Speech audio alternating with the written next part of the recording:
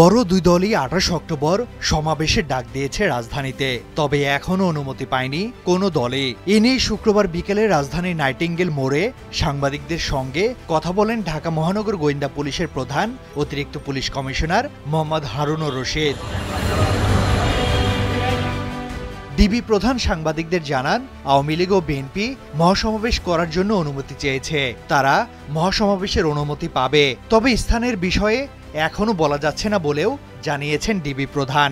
স্থানের বিষয়টি খুব দ্রুতই জানিয়ে দেওয়া হবে বলেও জানান তিনি।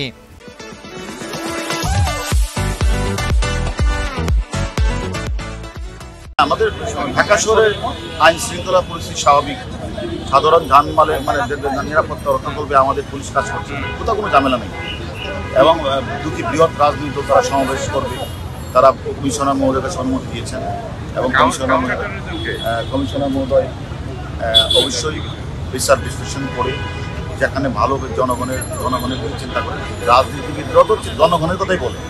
জনগণ যাতে সব নির্বিঘ্নে চলাচল করতে পারে জনগণের কোনো প্রবলেম হলে এবং জনগণের কোনো অসুস্থ হলে তারা যেন অ্যাম্বুলেন্সে দ্রুত বের হয়ে যেতে পারে।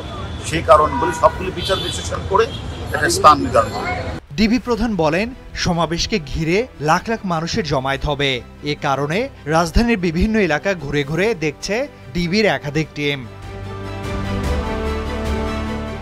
জামায়াত ইসলামী যদি সমাবেশ করে, তবে পুলিশের পক্ষ থেকে কি ধরনের ব্যবস্থা নেওয়া হবে এমন প্রশ্নের জবাবে হারুনুর রশিদ বলেন, রাজনৈতিক দলের নিবন্ধন যদি না থাকে, গুরুত্বপূর্ণ স্থানে সমাবেশের কথা বললেই তাদেরকে সমাবেশ করতে দেওয়া হবে না। কাকে কোথায় অনুমতি দিতে হবে সেটি ঊর্ধ্বতন কর্মকর্তারা বিচার বিশ্লেষণ করে দেখবেন। ঢাকাবাসীর নিরাপত্তার কথা মাথায় রেখেই সমাবেশের অনুমতি দেওয়া হবে। জনসমাবেশ, রাজনৈতিক দলগুলি করবে তাদের একটা গণতন্ত্র তারা করবে। তার কাছ থেকে অনুমতি নিয়ে এমপির অর্ডিন্যান্সের যে অনুমতিটা এটা নিয়মিতই হয়ে আসছে, নিয়মিতই করবে কিন্তু যে দলটা বিরুদ্ধে তাদের মানে কোনো নিবন্ধন নাই। বিভিন্ন অভিযোগ আছে, তাদের নিবন্ধন নাই। তো অনিবন্ধিত রাজনৈতিক দল তারা তারা তো সমাবেশ করার অধিকার তাদের নেই। তারা নিবন্ধিত হয়ে আসুক, তাহলে তারা একটা অনুমতি চায় তারপরে করুক। এখন একটা, আপনি বলছেন একটা কেপিআই বাংলাদেশ সবচেয়ে বড় কেপিআই সেখানে তারা একটা অনিবন্ধিত রাজনৈতিক দল, তারা অনুমতিবিহীন করবে।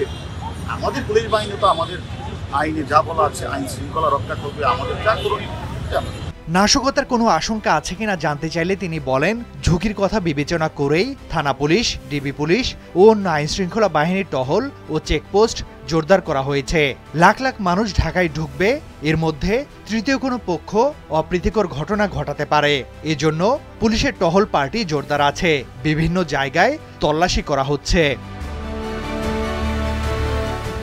তৌহিদ হাসান, কালবেলা।